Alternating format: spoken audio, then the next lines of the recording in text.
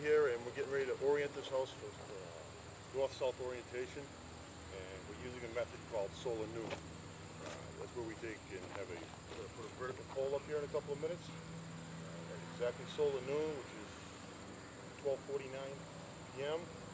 Give or take a couple seconds. We're gonna make sure that our shadow cast is perfectly straight uh, and that'll establish our north-south line. Uh, we have a northeast corner, this uh, is our reference point off the property line, so we're trying to determine that the southeast corner is exactly on the true so north-south orientation to the map. So as soon as it hits uh, 1249, we'll double this up and make sure our line's.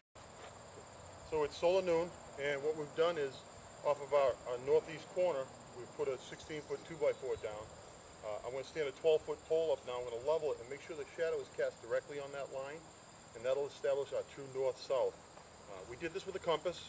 Uh, it's difficult. The compass is very small, trying to establish long lines, so we thought that we'd double-check it uh, by using the solar noon method. So, Mike, just uh, you're going to have to hold that pivot point at the stake, so in case I have to move this, you can leave that going.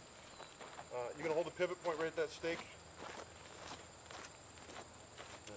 So we take this board here, we use the nice tall, board because of, uh,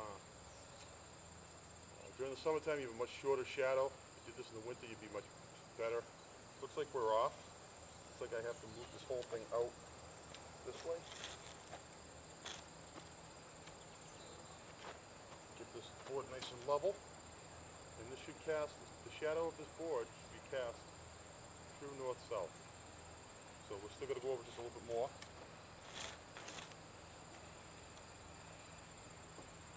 Okay, check this one more time, we should be getting pretty close.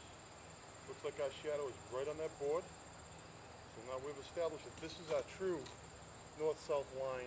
Uh, it looks like we were probably off about two degrees, uh, trying to do it with a compass. So that's how you shoot true north-south.